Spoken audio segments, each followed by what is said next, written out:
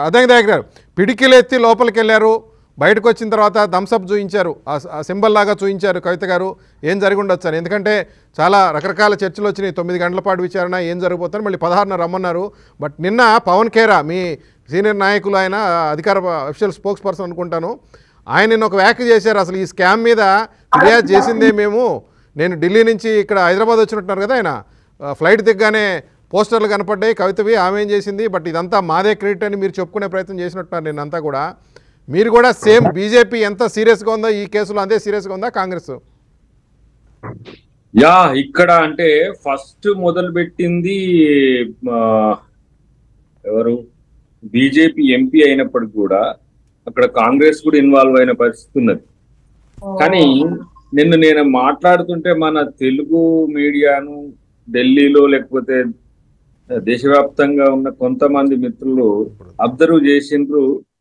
మనమేమో సహజ తర్కంతో మాట్లాడుతుంటాం మామూలుగా. జరిగింది ఏమై ఉండొచ్చు అని. మనమేమో సిబిఐ కాదు మనమేమో ఈడీ కాదు కాబట్టి లోపలికి పోయి తలకాయ పెట్టలేం కాబట్టి జరుగుతున్న పరిణామాలను విశ్లేషించే క్రమంలో ఒక మిత్రుడు ఢిల్లీ మిత్రుడు ఫోన్ చేసింది ఇక్కడ హైదరాబాద్లో ఉన్న మిత్రులు కూడా ఫోన్ చేసింది నిన్న నాకు తెలిసి స్టేట్స్ మీడియాస్ అంటే రాష్ట్రాల మీడియా కేంద్ర మీడియా అంటే దేశవ్యాప్తంగా ఉన్న ఇంగ్లీష్ హిందీ ఛానల్స్తో పాటు ప్రతి ఒక్క మీడియా దీన్ని మామూలుగా సెన్సేషన్గా చేయలే.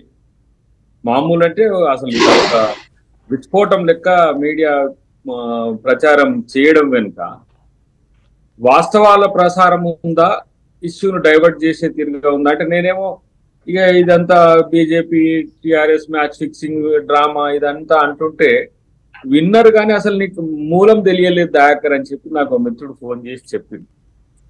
ఇప్పుడు అదానీ కేసులో మసకబారిన బీజేపీ ప్రభను అవినీతి చేస్తున్న రాష్ట్రాల మీద చేస్తున్నట్టుగా భ్రమింపజేసే ఈ పొలిటికల్ మెలో డ్రామా ఎందుకు వాస్తవ పునాదుల మీద లేదు అనేది మనం చర్చిద్దాం.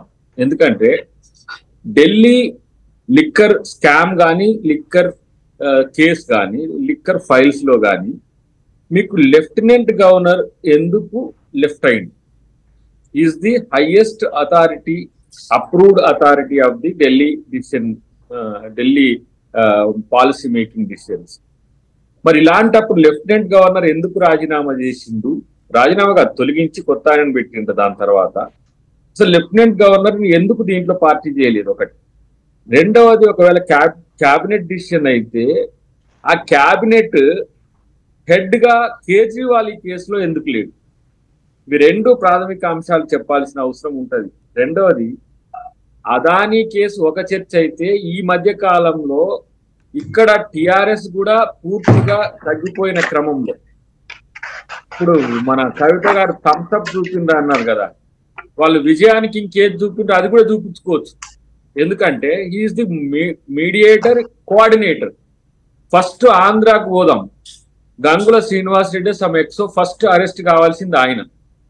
ఆయన మీది చర్చను కవిత గారి మీద మలిపి చాలా సక్సెస్ఫుల్గా మీరు చెప్పేది మాగుంట శ్రీనివాసరెడ్డి అనే ఎంపీ. అవును వాళ్ళ అబ్బాయి అరెస్ట్ అయ్యారు రాఘవ రాఘవ రెడ్డి అరెస్ట్ అయ్యారు. ఈయన తర్వాత ఫేజ్ టూ లో ఈయన ఉండాలి. అవును ఆయన పాత్ర తర్వాత ఉంది. శరత్చంద్రారెడ్డి తర్వాత అరుణ్ అరుణ్ అరుణ్ పిల్లై ఇట్లా సిరీస్ ఉంటది. ఎక్కడ కూడా ఈమె క్రైమ్ ఎస్టాబ్లిష్ కాలేదు. ఎక్కడ కూడా అంటే ఓన్లీ మోడరేటర్గా కోఆర్డినేటర్గా మీడియేటర్గా ఉన్నది ఎక్కడ కూడా. అంటే బుచ్చిబాబు ఫైల్స్ వచ్చిన తర్వాత మళ్ళీ కవిత గారి రేపు బుచ్చిబాబు గారితో కలిసి చర్చించినప్పుడు అవి వస్తాయి. కానీ ఇక్కడ మీరు చూడండి ఆప్ వైసీపీ టిఆర్ఎస్ బీజేపీ ఎంత ఫ్రేమ్డ్ డ్రామా ఆడిందో మనకు కళ్ళకు కట్టినట్టు రేపు మళ్ళీ పదం పదహారు తర్వాత అర్థమవుతుంది. మీరు ఈడీ కేసులో సోనియా గాంధీ గారు రాహుల్ గాంధీ గారి పర్సెప్షన్ తీసుకోండి. ఎంపీలను ఇష్టం వచ్చినట్టు కొట్టింది. అక్కడ పోయిన కార్యకర్తల్ని లాఠీ చార్జ్ చేసింది. నిన్న ఎవరు ఎవరి చేతిలో ఉంటుంది పోలీసు?